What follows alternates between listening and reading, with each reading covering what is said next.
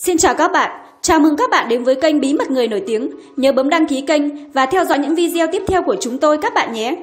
Trong bản tin ngày hôm nay, chúng tôi sẽ cung cấp cho các bạn thông tin chân dung người vợ đảm đang của diễn viên Hồng Đăng.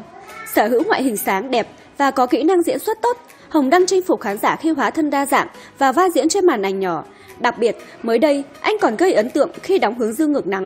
Năm làm nghề, Hồng Đăng chính là cái tên quen thuộc với khán giả qua nhiều tác phẩm truyền hình ăn khách, hoa hồng trên ngừng trái, cả một đời ân oán. Thành công trong công việc, hôn nhân viên mãn của anh với bà xã cũng khiến nhiều người ngưỡng mộ. Nam diễn viên cho biết, 20 năm qua cả hai đã từng có thời gian vui buồn và cùng nhau vượt qua biết bao nhiêu biến cố. Nam diễn viên ngưỡng mộ bà xã vì là một người phụ nữ chu đáo, hết lòng chăm sóc cho gia đình. Riêng anh Đào từng chia sẻ rằng, làm vợ Hồng Đăng, bản thân từng nhiều rất nhiều ồn ào. Tuy nhiên, cô vẫn mạnh mẽ vượt qua và hết lòng vun vén cho gia đình. Hồng Đăng, anh và chị anh Đào quen nhau từ năm học cấp 3, sau đó tiến tới hôn nhân năm 2008 và giờ đã êm ấm khi có hai cô công chúa xinh đẹp. Đáng lẽ, với sự thành công trên cả con đường sự nghiệp và tình duyên thì phải có khối người ngưỡng mộ anh chị, nhưng sự thật hoàn toàn trái ngược. Theo mọi người nhận xét thì anh chị là cặp đôi đũa lệch. Chị không xinh đẹp và không xứng với anh, nhưng vượt qua tất cả, Hồng đang khẳng định vợ luôn là hoa khôi trong lòng mình và là nữ hoàng của hai cô công chúa. Cách đây không lâu, khi một anti-fan chê anh đảo xấu kinh hoàng, Hồng đăng mắng thẳng mặt, em vào nhà người khác chê bai đủ thứ, trong khi em có hơn gì đâu, giờ ai gặp em, rồi chê em đủ thứ thì em có vui không, cái này là do giáo dục từ bé đấy em ạ. Thiếu căn bản rất nguy hiểm, đừng nghĩ thẳng thắn là thể hiện tính cách mà đấy là vô học. Trả lời báo chí anh Đào khẳng định, bạn hỏi tôi có tự ti không? Chắc chắn là có, là diễn viên anh ấy thường xuyên tham dự các sự kiện, quần áo phải sang trọng đẹp và lịch lãm, đi cùng nhiều người bạn diễn rất xinh đẹp. Về nhà, nhìn vợ mặc đồ thể thao nhan sắc bình thường, nhiều khi tôi tự hỏi liệu chồng có chán mình không? Nhưng anh ấy vẫn động viên, anh thích em đời thường như thế, quan trọng mình phải tự tin là luôn đẹp. Nghe vậy thấy ấm lòng và mọi cảm giác tự ti cũng đều biến mất. Bên cạnh đó, anh Đào tiết lộ, có thời điểm cô nhận hàng chục tin nhắn qua điện thoại, Facebook về những tin đồn không hay trong một ngày. Thậm chí, đã có người liên tục nhắn tin coi thường và không tôn trọng cuộc sống riêng tư của tôi, từ nhận xét về con cái, thậm chí chủ động bảo tôi bỏ chồng, đi để anh ấy sẵn sàng đến với người ta. Có những trường hợp còn hơn thế nữa, ban đầu tôi cảm thấy khó chịu hơi ghen và quan tâm tới những câu chuyện tình huống như vậy, nhưng hiện tại tôi quen rồi và bỏ ngoài tai những tin đồn thất thiệt. Anh Đào chia sẻ, anh Đào từng chia sẻ rằng vợ chồng chị gặp chút biến cố gia đình khi mới sinh bé nhím, nhưng cả hai luôn định hướng vào có suy nghĩ giải quyết sự việc ổn thỏa trước khi nó đi quá xa. Bà xã Hồng đang bộc bạch, tôi cảm thấy may mắn khi tình cảm của hai vợ chồng đủ lớn để vượt qua những biến cố khó khăn nhất. Hồng Đăng vẫn đang tạo cho tôi niềm tin về tình yêu, sự trưởng thành và trách nhiệm với vợ con. Thời gian không làm việc hầu như anh ấy đều dành hết thời gian cho gia đình.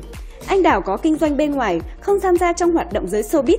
Ngoài ra, Hồng Đăng còn cho hay vợ mình là người rất khéo léo, sống chung với nhau 19 năm nên anh Đào luôn thấu hiểu chồng mà không bao giờ ghen tuông, dù rằng chàng có là diễn viên nổi tiếng hay thường đóng cặp cùng nhiều mỹ nhân của màn ảnh Việt.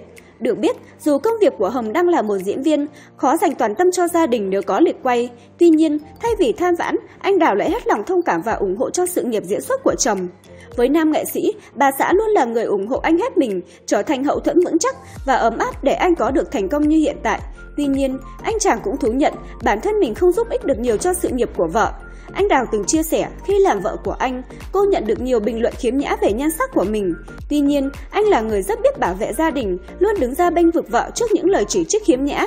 Điều này đã giúp cô có thể mạnh mẽ vượt qua hết thảy. Bà xã anh cũng là người rất khéo léo và đảm đang. Cô thường vào bếp trổ tài, làm nhiều loại món ăn đa dạng mà thơm ngon cho chồng và hai cô con gái.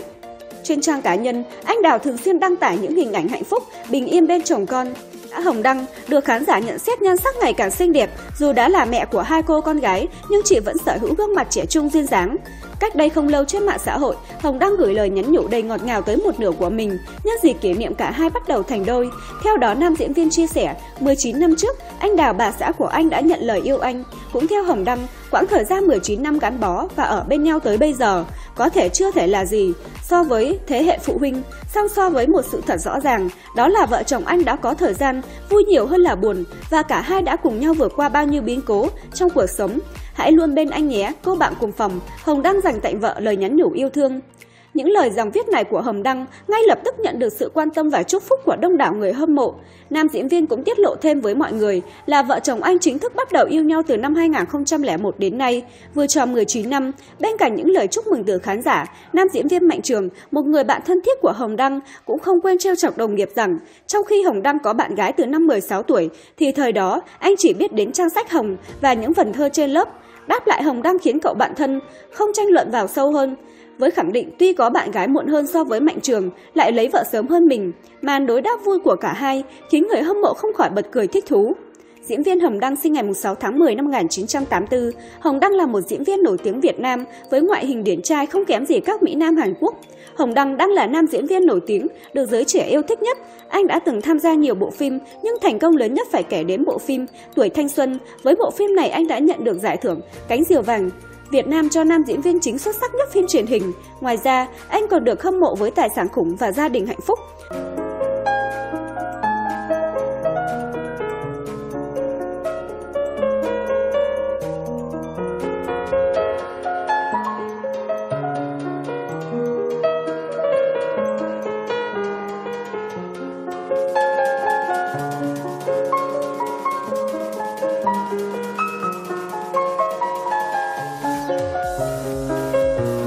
Cảm ơn các bạn đã quan tâm theo dõi. Nhớ bấm đăng ký kênh và theo dõi những video tiếp theo của chúng tôi nhé.